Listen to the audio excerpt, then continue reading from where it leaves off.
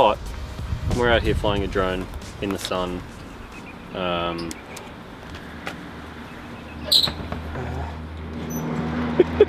it's hot.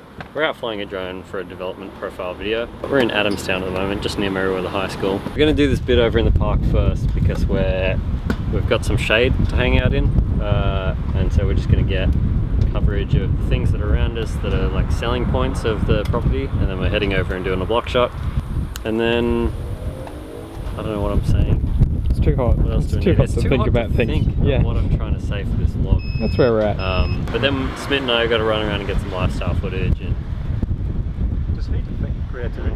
yes, In a because good it way or a affects bad your, way? no, it's bad. It affects your brain. It's- It makes you just go, I'm so done. Mm. We're Fisheye Creative. The fish is getting cooked right now. That's what's happening. We're getting steamed. our extra challenge is doing our shoot while staying cool. That's our yeah, goal now. that's that's the challenge of today. All right, let's go for it.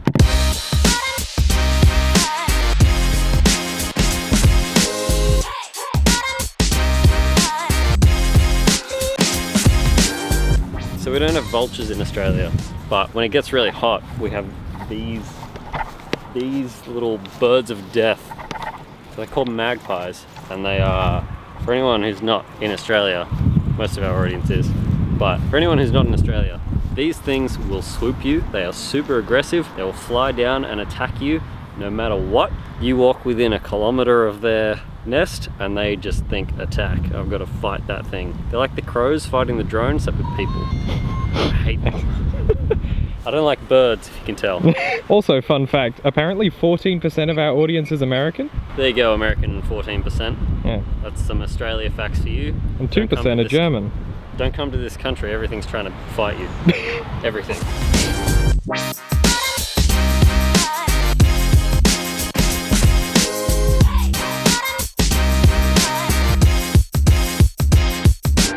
Oh, Flying it in from the oh, oh, Christmas beetle, Get out of here, dogs. essentially. cattle country. Gonna put little things everywhere, are you? Pretty much.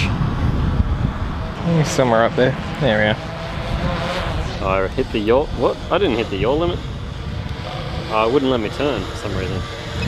Um, alright, well let's. So I'm gonna just turn this pot boy around and point it at our development. There it is, that's where the development's gonna be. Yep. And so we're gonna lift off from there and swoop around and show off all the stuff there is in Newcastle.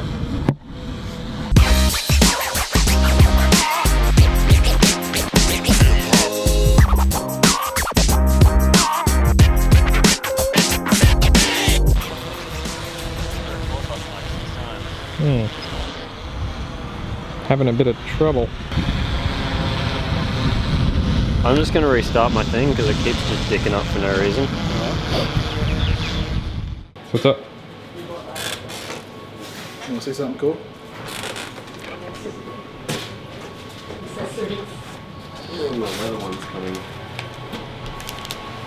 New server, boy! It's What's happy freezing apps right with the server? this is not my room. What, sorry? So we've, we've got a, Oh yeah, got a we new boy coming in. got a new, that's the new editing computer. Oh yeah, It's what we edit on. Mhm. for uh, for our 16k videos. Yeah, Uh, exactly. Yeah, playing Quake. Um, yeah, no, it's a new server. We're getting getting more jobs, uh, and we're shooting at we're shooting higher resolution footage, and you know it takes up more space. So uh, we had to retire the old one, and and uh, we've upgraded to something pro. So we get a lot more space now. Yeah. If you want, what I'll Reckoning we have. I'm guessing these are all in RAID. So that's a RAID 6, RAID six. 8 terabyte drives, Beautiful. uh, 2 drive fault times, Mhm. and we're going to be putting, I think, maybe a 2 or 3 gig link back to the switch. Yep. So it's like 8 times the storage capacity of the previous one. But also, this one's actually got like a fairly decent microprocessor in it, and like it's got its own dedicated RAM, so it will handle the jobs. Oh, sweet. It will divide the information Yep. a lot quicker. Woo. There you go. What's next? Over to do the block shot now. Mhm. It's just a top-down shot showing how big the space is going to be. And then after we've done that, we're going to pop over because there's another park over that way. We can get some really long, fast tracking shots from super high up. Sick. Nice.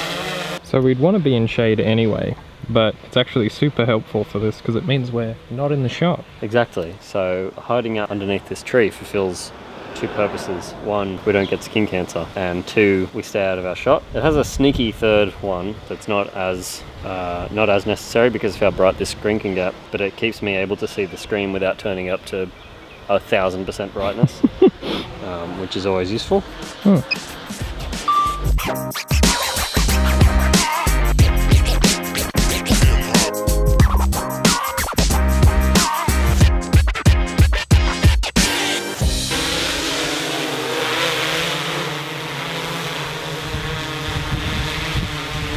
Ooh.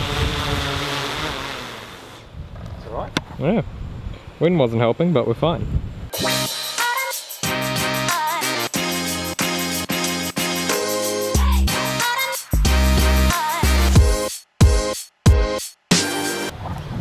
So, um, we're just taking a quick break, first of all, to not die of heat stroke, but also to um, double check that we're hitting all the points that we need to. So we have our notes for the development here, and we're just going to go through and see see what the selling points are, and just make sure that we've got got something for all of them. So there may or may not be a fire in the middle of our shot. Oh, that's Australia in summer. it's not even summer yet. This is ridiculous. Mm. Middle of it's the end of spring. Yeah. Look, we'll make Alright. it work. And if you want to come back this way again, I'm just going to go the other way. Okay. All right, action.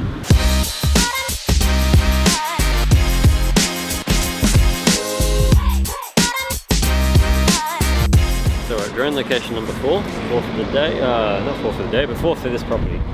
So we're going to uh, just pop around to where the Fernleigh track starts. Just do a raised shot there to show that look, there's a bike track there because that's one of the uh, one of the sales points. Is local bike tracks. Um, yeah. Five meters up here, and then just straight up. And I'll just pan down over there. Okay. That's how you direct a drone. Dunk. Alright, ready to go?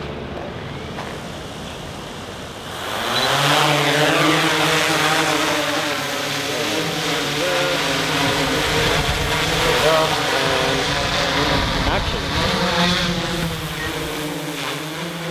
Successful launch. All that effort is all in there. Well done. Thank you, Steve. Thank you. Yeah, thank you. What are we up to? So now we've got to get all the uh, the ground handheld lifestyle footage now that we're done with the drone. And it's a very windy day, so you don't want to be taking off the camera lenses because we've got to swap to our long lens. You don't want to be taking off lenses and exposing the sensors to wind. So we're doing it first of all in the boot, get a little bit more protection, and then also with the sensor facing away from the direction the wind is coming because we don't want anything whipping up in it because sensors are expensive, man. Really hard to fix. Yeah.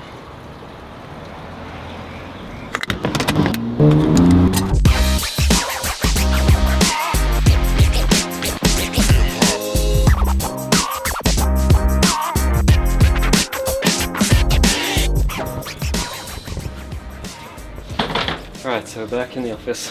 Successfully not died from heat exposure. Just. It's nice and aircon.